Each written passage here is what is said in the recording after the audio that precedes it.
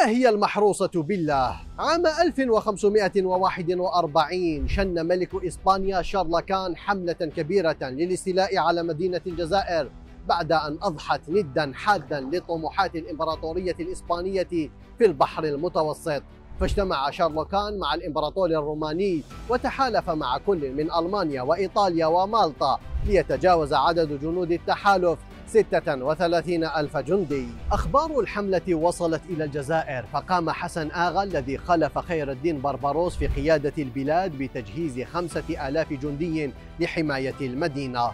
المعركة غير المتكافئة أثارت مخاوف السكان الذين توسلوا إلى الله بالدعاء. لينقذ مدينتهم من الغزاة. وبعد حصار طويل وفي ليلة الرابع والعشرين من أكتوبر بدأت الأمطار تهطن بغزارة واشتدت الأمواج ما جعل جنود التحالف في معزل عن أسطولهم الذي تحطمت أغلب سفنه. هذه الوضعية استغلها الجيش الجزائري لرد الغزاة بهجوم خلف حسب مصادر تاريخية أكثر من أربعة آلاف قتيل من الجيش الإسباني وتحطم 150 سفينة فيما استشهد 200 جندي من الجزائريين ومن هنا سميت مدينة الجزائر بالمحروسة بالله وأنتم عزيزي المشاهد ما قصة تسمية مدينتك؟